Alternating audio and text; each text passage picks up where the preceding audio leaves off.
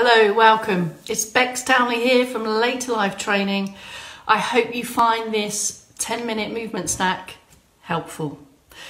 If you would like to feel more confident standing from a chair, if you would like to feel more confident turning on your feet, this next 10 minutes could be for you. So could I invite you to, to watch through this, this whole video first and then go around again and perhaps join in if you feel you would like. I'm going to start in a seated position. Before you join in, do check that you have a, a fixed support, uh, a heavy table or a stable wall, something that you know you can feel confident to have your hands on if you should need. Let's get going. I'm going to go over to the chair and let's get going with the movement snack. Starting positions, just going to take a seat in my chair. Starting position in the chair, you're probably sitting comfortably. Let's work through how it's going to be feel easier for you to get out of the chair over time. Watch first, have a look, uh, and then we'll go back round and, and have a go and you can join in if you would like. Here we go then, feet are flat on the floor. Can you feel your feet are flat on the floor? Hands on the arms of the chair lightly or on your legs here. First step is to sit taller away from the back of the chair. Are you sitting tall away from the back of the chair? And by tall we mean lifted and unsupported by the chair. Your, your posture muscles are doing the work. Hands on the arm of the chair or on the legs, whichever you prefer. Have a watch, have a watch first hip and walk forward. This brings the body forward. This will make it easier to stand. Just pause. Buttocks are just past centre. Next point. In preparation to stand, and especially if you've been sat for a while, we want to get the circulation boosted. We want to increase the blood flow to help avoid any dizziness on standing. This is a really significant tip, if you like. So sitting tall and just take some movements through the legs, pushing up through the heels, start to activate the ankles. This will really help with standing activities. Hands on the arms of the chair and can you take a little bit of raise, just lift the toes from the floor, just a little bit of 30 seconds or so in preparation to stand. Just to check the posture is in the best possible position. Let's put in a little bit of arm march here, just to lift and open the posture and the shoulders, and again, prepare us for this stand. 30, 30 seconds, a minute or so is really going to help you in sit to stand situations, especially if you've been sat for a long time. Okay, have a watch of the next bit, please. Have a watch of the next bit. Tall sitting, this will make it easier to stand. Bring the feet back and down, just behind the knees. This will make it easier to stand. I'm just going to take a few rehearsals of the hip hinge. So lifting tall, just this movement here is going to help with the stand. Just watch, just watch while I do this first one. And then I'm going to push up to stand and as soon as up, a little bit of foot pedal. Get your balance and can you see I put my hand on the wall here or on the support here. So feel confident in that stand position. This is significant. We tend to stand and go. Where is another top tip. Stand, pause, feel strong, steady and balanced and then you can decide what you want to do. For now, I'm going to move on to the safe, confident turning. I'm going to use the wall here and I'm going to use the table to the side. Check before you start to turn that you have a gap between your feet. This will help with your balance. Hand on the wall or hand on the table and we're going to turn towards the support.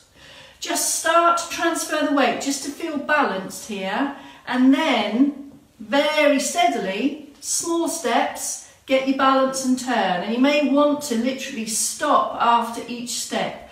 Turn, turn, stop or you may feel that momentum helps and pause. So there I've turned through 90 degrees and I've got the support in front of me. Check, Glance down, you've got a gap between the feet. Before we do anything, lift and lengthen the posture. This will help with balance. We want the feet and the legs to turn first, not the trunk and the head. So have a look first, have a look. I'm going to turn back through 90 degrees, taller, balanced before I start. Start to shift the weight, picking up the heels, turn and get my balance each step. Turn and get my balance each step. Turn, balance, balance. I'm going to feel for the support. On this occasion, I'm going to feel for the chair on the backs of my legs. Can I feel it? Can I feel it? This means you don't have to turn and look. We want to sit down on balanced feet, stick the backside out to start and sit down with control. Okay, if you haven't already, if you did watch that one through, perhaps now you'd like to join in, or perhaps you'd like to watch again and do it in your own time. I'm going to do all of that again, either watch or join in, entirely up to you. Have you got some external support very close to you? And are you ready? Here we go. Are you sitting comfortably? First step, sit taller. This is the first step. Then take up support. Take this, uh, this hip shift, this walk, and we're trying to move further forwards in the chair, just past centre. This will make it easier to stand. Pause, steady, strong, stable, confident, upright position. In preparation to stand, some foot pedal, some march, using the ankles here, picking up the heels, use the ankles, no flat feet if you can help it. Can you pick the whole foot off? And perhaps if you lift and lengthen, a little bit of arm boost as well. This prepares the trunk and generally prepares us for a successful sit to stand. Okay, here we go. Heels back and down. This is significant. This will make it easier to stand. And can you feel the heels into the floor? Push through and you'll start to feel the legs starting to work. Lift and lengthen. Now, the hip hinge, this movement of the trunk also makes it easier to stand. You might want to just rehearse a couple and then when you're ready, on your count, not mine, you're going to go for the push up to stand. So whenever you're ready, push up to stand. I'm going to do mine round about now. Push and stand and as soon as you're up, adjust your feet for balance. Adjust feet, adjust feet, feel confident. Gap between the feet, have a look. I've got my hand on support here. We're up. Good. Now we're going to rehearse the turning. Decide which way you're going to turn and you're going to turn towards the support. So I'm going to turn towards my table here, got it to my side. First thing is to be confident before we start. Then, picking up the heels, just transfer the weight, step, turn, step, turn, and you might want to pause after every step. The feet are turning, the feet are turning, not the trunk and the head. Here I am, support in front of me. How was that? Strong, steady, stable. The thing is to move the feet confidently and allow the trunk and the head to come with it. We're not looking to move the trunk and the head first. Are you ready to come back? Check you've got a gap between your feet. Lift up taller, this will help with balance. External support is here. Here we go. So start to shift the legs, shift the weight, step, turn, and you might want to pause after every one. Step, turn, feel steady at each one. Step, turn, step, turn. As many steps as you feel is comfortable for you. I'm going to use my wall here. I'm going to prepare to take that sit position.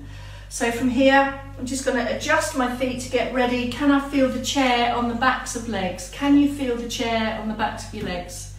If not, you need to have a check and a move to get into a better position. Feel for the chair, we know it's there. Stand tall and strong, sit down, slow with control, slow with control, slow with control, pause. That is sit to stand and turning.